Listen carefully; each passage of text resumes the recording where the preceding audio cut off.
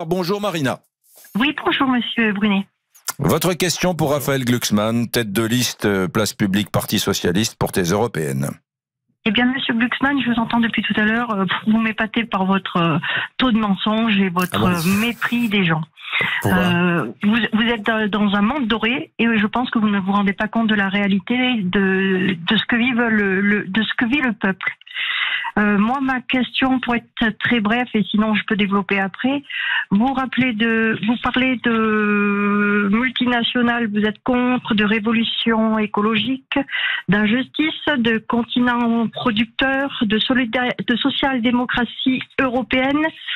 Euh, alors, dites-moi simplement, juste comme ça, euh, pourquoi vous détaxez les produits agricoles importés euh, que je qualifierais moi d'industriels, puisqu'ils sont produits par des grandes firmes contre vous, contre ce que vous venez de vous opposer, et contre des investisseurs en Ukraine, qui vont produire des produits qui sont interdits à la production euh, par, par les producteurs en France et en Europe, qui seront donc sans contrôle sur leur euh, qualité pour la santé, qui vont tuer pour ne serait-ce les betteraves sucrières, les abeilles d'Ukraine, mais c'est pas grave.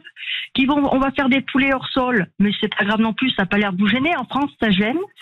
Mais comme vous parlez de l'Europe, euh, l'Ukraine fait pas partie de l'Europe. Bien que, attention, hein, je n'ai rien contre euh, l'Ukraine et l'aide à l'Ukraine.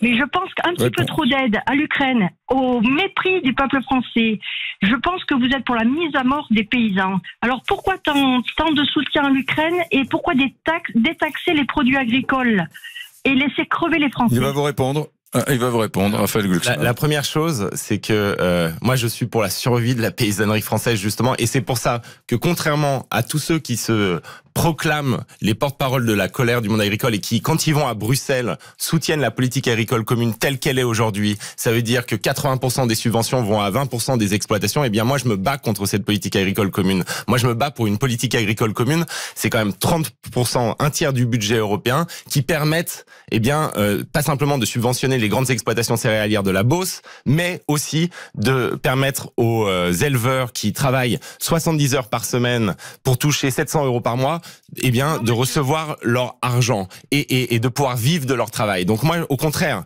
contre ceux qui sont pour le maintien, le statu quo de ce système aujourd'hui, eh bien, je suis pour qu'il y ait une paysannerie en France. Et simplement, c'est ce système de subvention complètement inique qui est en train de tuer la paysannerie et qui est en train de transformer tout en agro-industrie. Et maintenant, sur l'Ukraine. Non, mais je vous réponds parce que vous m'avez accusé de mentir et de vouloir la mort de la paysannerie française. Donc, euh, je vous réponds. Et l'Ukraine. Et l'Ukraine. Pourquoi les paysans français supporteraient-ils la vous politique d'aide vous à l'Ukraine Tout Vous seul. savez, la première chose, on a euh, levé les barrières douanières à l'échelle européenne par solidarité avec une nation qui était envahie et dont la survie est une des conditions de possibilité d'une Europe en paix. Donc c'est pour nous que nous l'avons fait et c'est pour l'ensemble des citoyennes et des citoyens français pour assurer leur sécurité. Maintenant, il y a des sauvegardes. On a mis en place des sauvegardes et quand les importations venant d'Ukraine dépassent un certain niveau, eh bien, euh, on remet les taxes. Et c'est ça qui va se produire. Mais j'aimerais quand même rappeler que, par exemple, le poulet ukrainien que vous avez mentionné, vous savez quand même que le poulet ukrainien, c'est 1,4% des importations françaises.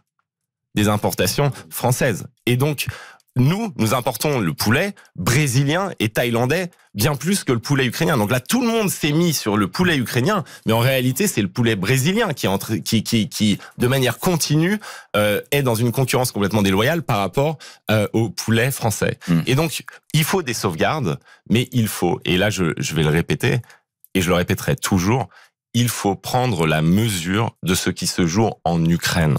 Il faut comprendre que ce n'est pas simplement par amour des Ukrainiens ou par solidarité avec les Ukrainiens que nous aidons l'Ukraine. C'est parce que c'est notre sécurité qui est en jeu et que Vladimir Poutine vise nos démocraties, cherche à déstabiliser nos démocraties, cherche à importer sa guerre en Europe et que si nous ne soutenons pas l'Ukraine, eh bien un jour la guerre elle se rapprochera encore plus de nous et que donc c'est pour nous que nous le faisons. C'est pas parce que on préfère les Ukrainiens euh, aux Français, au contraire, c'est parce que nous on doit avoir en tête une chose, c'est la chose la plus importante. C'est même peut-être la seule chose qui nous oblige de manière absolue. La sécurité des Françaises et des Français, la sécurité des Européens. Et elle se joue aujourd'hui dans le fait que l'Ukraine gagne sa guerre contre la Russie. Ça n'empêche pas qu'on va mettre des sauvegardes et que donc quand les, les importations qui viennent d'Ukraine dépassent un certain seuil et ce seuil ne sera pas massif, eh bien elles seront à nouveau taxées.